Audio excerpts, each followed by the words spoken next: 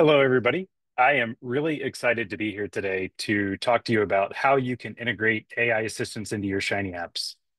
Now, my name is James Wade. I'm a chemist in the chemical manufacturing industry at Dow, um, and this is my first R Pharma experience. I'm here today, you, or you might have expected that I was going to be here today if you're familiar with any of the packages that I've contributed to, or maybe have followed some of my uh, YouTube videos to talk about AI coding assistants. I think they're fantastic, but I actually want to take talk a little bit more about Shiny. And a big part of that is because I was strongly inspired by Joe Cheng's talk at PositConf just a few months ago.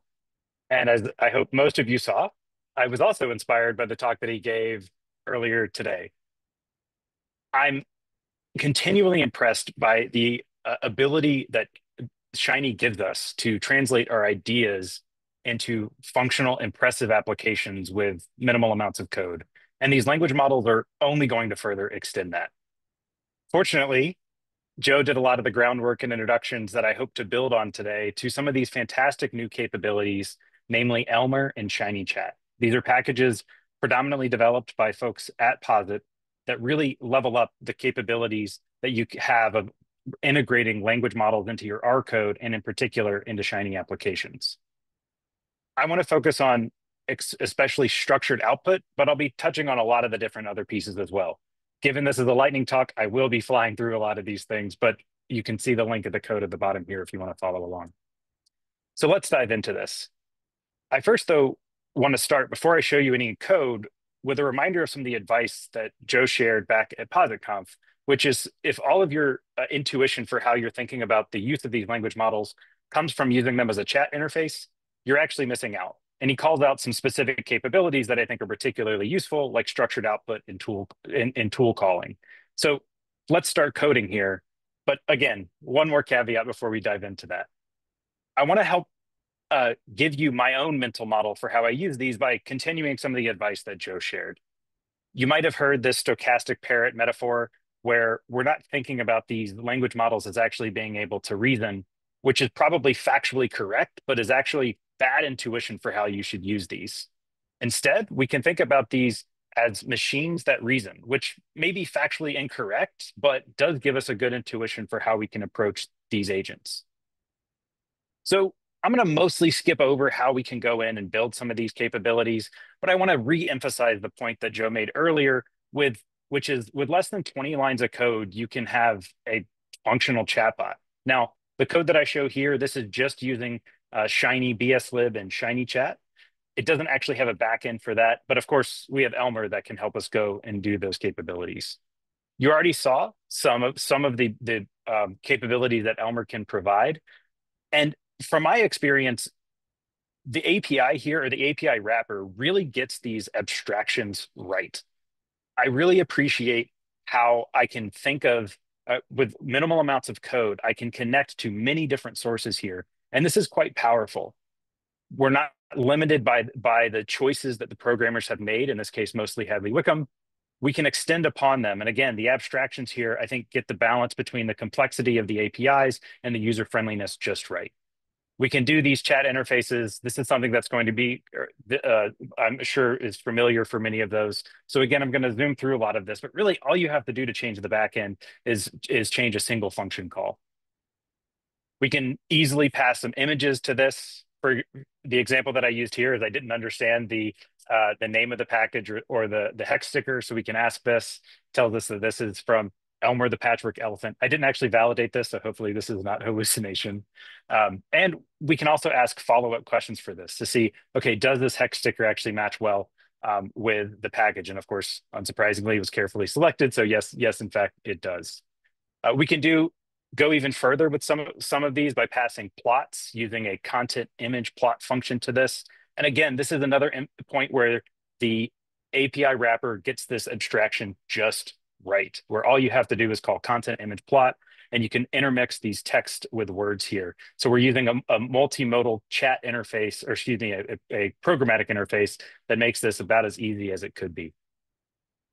We can take this and build this into an actual chatbot, bolting on that back end like you saw, saw from Joe before, where we're really talking about less than 10 lines of code uh, where you can have a functional chat interface. Now, this one is a, is a bit simple, and I would challenge all of you if you want to go build some of these capabilities yourself to go well beyond this.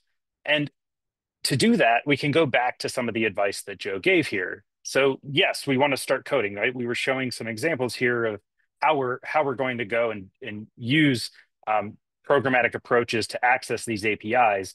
But I want to emphasize again the structured output in the tool calls and the power uh, th that you can use for these. If you take nothing else uh, away from this talk, I, I, implore you to go test out the structured output capabilities. Uh, they're quite powerful and give us um, capabilities that I haven't actually that that um, give us a new way to interface with these chatbots or these language models, excuse me, not chatbots, then you'll see an example of in just a moment. I thought it was funny not knowing what Joe was going to talk about that I ended up picking a very similar example for how to integrate some of these tools. Um, as a reminder, if you didn't see this before, uh, you can uh, integrate a tool for checking the weather. So I use this actually to see if I'm going to need an umbrella when I'm taking my kids uh, trick or treating in just a few days. And the answer, unfortunately, is that yes, we're going to be. It's going to get wet, but not going to be too cold. I, I live in Midland, Michigan, Michigan, as you can tell uh, from the chat interface here. This also highlights another easy or another utility that exists within the Elmer package with just um, a, a, single function live browser. You can take a chat agent and turn it into a chat window that you can interact with much like you would something like ChatGPT or Copilot. I won't step through the details here of how to go do this, but it's quite easy to go and add these tools there. If you have a, a, a function that you've already written, um, there's some helper functions that can actually write a lot of the specifications for you. The tooling is something that took me a while, even though I've been interfacing with these APIs for a good bit to be comfortable with. But I, I want to encourage all of you to skip over that hesitation. The, the, the tools here really are where a lot of the, the power lies. So the most uh, exciting capability coming out of these, again, is the structured output capability. Let me emphasize again why this is so important. What we're doing is we're having these models that will now adhere to a defined structure, a defined schema that we can specify with something like a like JSON. What this means now, because it will adhere to the specification, the structured output makes these LLMs programmable. So this is a genuine step change in how we can use these because now we can rely upon the outputs and anticipate the, the returns of these. And now we can uh, build all sorts of fancy things, much much like um, examples. Uh, the most salient examples that come to mind are the chatbots that uh, Joe showed earlier today. A simple example of this would be to uh, extract uh, entity information coming out of a biography, maybe name, profession, interests, and because we're at an R conference, a favorite package. And we can pass this. In this case, I've taken uh, Joe's bio um, from the R Pharma um, web page and we can get this structured output coming out of this. Now, we, we, we don't have to stop there, of course. I took my own bio from this and applied the, um, the, the, the same schema to extract this information coming out of it. And you might notice here that I actually didn't specify any packages in my own bio, so it didn't know what my favorite might be. So this is actually a way where it was missing that information, but still give me some information or get, still give me a way to handle that uh, programmatically by I asked the model to give me to fill in that missing piece. So this is a toy example, but we could think of something a bit more complicated here. Uh, I, am not in the pharma industry, so I'm not sure how tired you are of these GLP-1 receptor agonists and studies coming out of them, but say you never want to read one again, maybe you can use this structured output uh, to, to your advantage here, where you can take some unstructured text, apply this schema, and get a, a, a fairly sophisticated structure coming out of that the code component of this actually looks quite simple. Like we initialize the chat interface much as we had before. I have a helper function uh, that you can see in, in, the repo for the, where this talk is, talk is housed to uh, extract this with very little cleanup of the text itself. Um, and then we, we uh, use this extract data function. That really is ends up being the key here, passing that specification much as we had before. There's another uh, extraction to convert this to a table or a helper function to convert this to a table and you can see the result that comes out here. And of course, you don't have to apply this just to a single one. You can apply this to many. Um, you can, here's how, here's what the schema actually looks like um, from an overall layout of that. And I won't go through this for the sake of time, and we can specify this in the code much as we have done before. I'm gonna quickly close here with um, zooming out and thinking again about the sidebots and thinking what, what makes them so useful.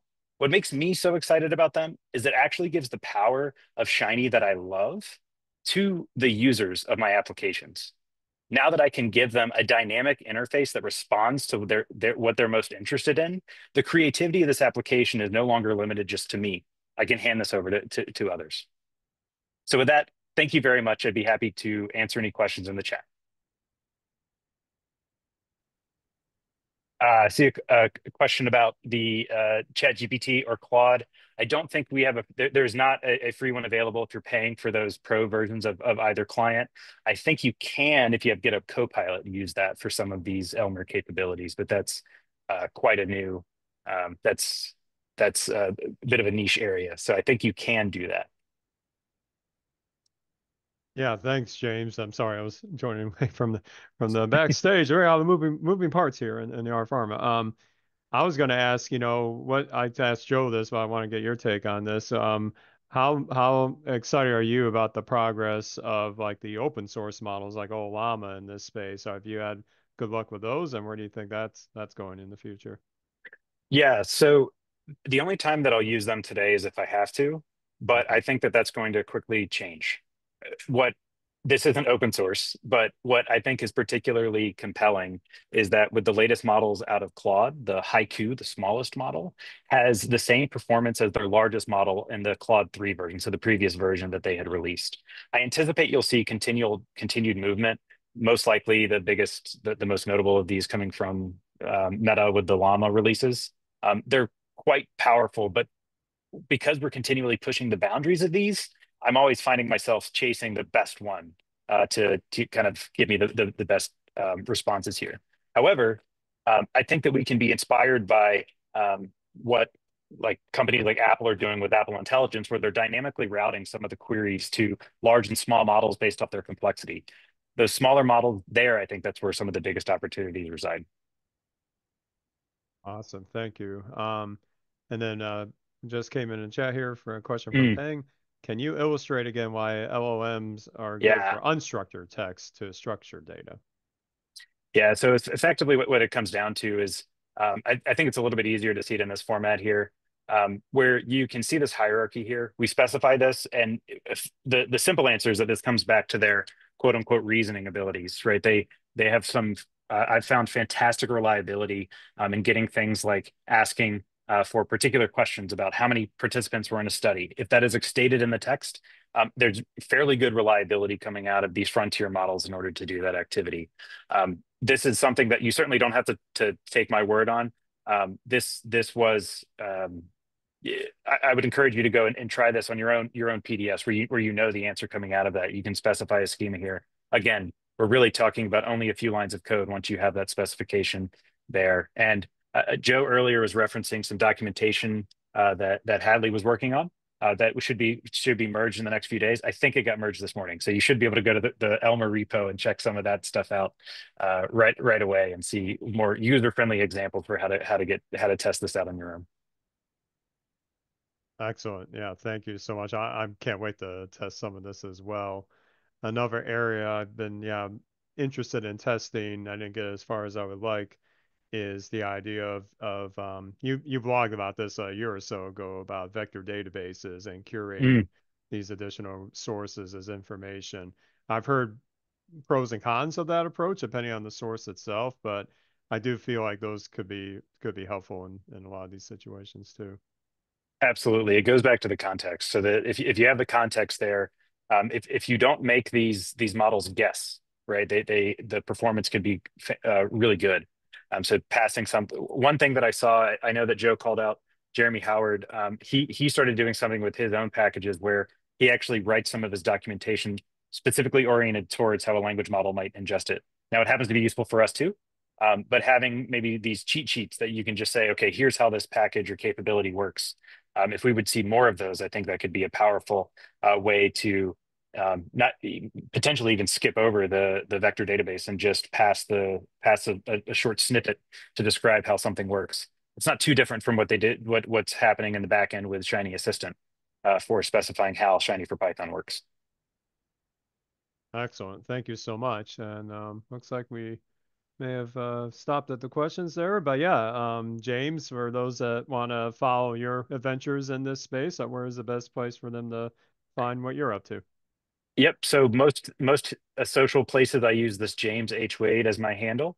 Um, so uh, I guess Bluesky is starting to blow up all of a sudden. So maybe go check that out. And also I uh, hope to be getting back to uh, posting YouTube videos soon. So it's it's more or less the same handle there. If you just search my name on YouTube, you should be able to find me. Uh, I need my my youngest children to get a little bigger to get more of those, but I, I I miss it. So I hope to get back to it soon.